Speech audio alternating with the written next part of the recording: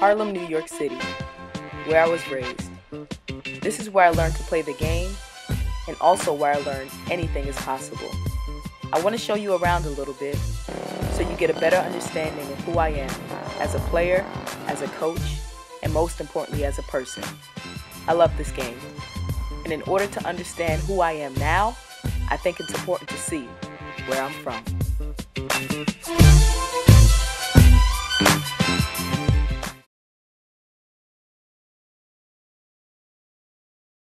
You know, my game was grown in the, on the courts, on the streets.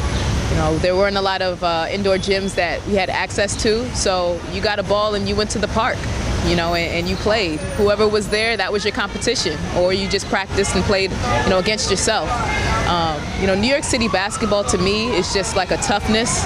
It's a grit. You know, it's fast-paced. It's it's intense. Um, and I think all of that is developed from the street, you know, because you learn to compete, you learn to be tough, you learn to face adversity. And, you know, the next step to that becomes taking your game from the parks and from the street and, you know, refining it. And as your IQ grows and you get better and you learn more and you're exposed to different types of basketball, you learn how to translate your game from pickup to structure. This girl right here said she was watching me Man, I had to watch some of her moves while I was on the court sometimes. I would miss a pass, watching her just maneuver through people and get her shot up any way she wanted. I don't think I ever seen her get her shot blocked. Never. Snake, left-handed and slithering. It's hard to guard. It's hard to guard. tell you, man. Let me tell you.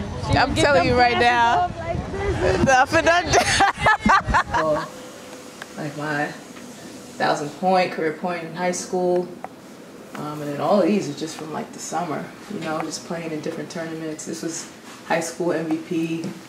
Um, I had a brief stint as a tennis player, short-lived. Um, you see East Orange, first place. I mean, when we played with Douglas, we just didn't lose, man. When we got to a tournament, we were trying to win. And that was like, that was really it you know, it's an academic award I got in college actually. And then I led the whole city in free throw shooting. I make free throws. and then they just go slam jam. You got uh, West Fourth.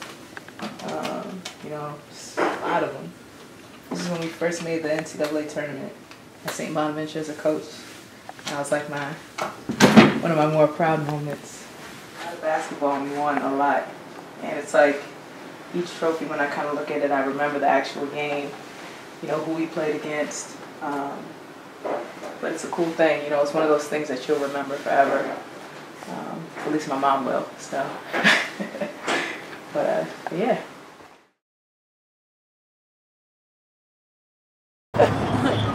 What I was running. Building. What up? I just say pasta, like I'm gonna run into her. So some days you might have three games in a day, like and you you at every game going hard, going too. hard. like it was the first game of the day in the heat. In the heat. In the heat. One o'clock, sun beaming. Oh my god. Towards the end of the year when it started, and the line to get in, literally, like starting at like three o'clock. Down the block. Down the block. Down the block. You had your icy white tea. She ain't never lying. it used to be so packed. And it wasn't a line where it was one person standing it behind. No. It was about a crowd this big, Why? all waiting to get in. And there was still a line behind behind you. It was about five people next to you. That wasn't a line, it was just a crowd. Like, we gonna go in together. Sebastian Telfair was playing and killing it. Steph, and Stephon Marbury. Steph was playing. On the same team. And even though it was like men's basketball, like the girls and the women that played followed it just as much. You know, it was like you grew up kind of watching them play and you kind of modeled after how physical they were, the handle, how, how just everything, everything. Court awareness, just the IQ, everything from the the way they dribbled the ball. Like you wanted to dribble just like that. Just imagine this whole thing full of people. Just imagine hyping and it. everybody's just hyping it up. Like, yeah. Because so, they get packed in here. They mm-hmm. get packed. Now, this is probably one of the biggest parks in parks. New York City. Absolutely. Like, and it gets packed. And we're talking even not just in the park, outside the park, yep. around it. climb on the gate there, climb on the gate there, climb on the pole over here. Wherever you could do to just slide in, sit on the poles, you know, kind of be in the back park over there and kind of wiggle your way through. you did what you needed to do. But you were just exposed to so much basketball and competitive high level basketball. And entertainment. Yeah, Oh man. my gosh. I forget, I'm almost forgetting about all this stuff, like thinking about it. You really think about how much basketball was your summer, it was your entertainment, it was everything, really. And even if you weren't playing, you were around it. So you almost were always, you always were getting better because you were exposed to it in some degree. Whether you were watching somebody else play. It's a big help for the neighborhood as well. Mm-hmm. You know, I keep a lot of these knuckleheads At Just- bay. Yeah, yeah, yeah. So this is, you know, it, this is a big help for the community, especially in like an urban community where it's mostly Violence. and Drugs. violence and drugs. This is a big help, at least for a good For five hours out of the day. Seven. There's a cure for this. I don't want it, don't want it. There's a cure for this. I don't want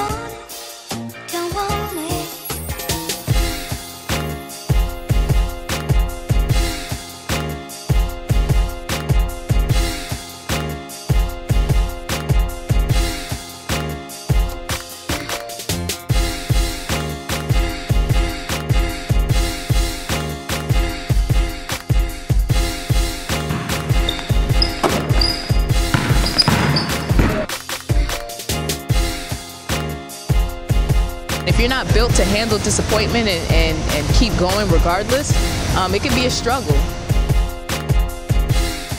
That's what separates athletes from the average person is we put ourselves through hell, um, you know, just to succeed. And a lot of people aren't willing to do that. You know, as much as we talk about what it takes to succeed, a part of that is, is failure. And a part of that is being disappointed and, and handling it and pushing and, and striving anyway. I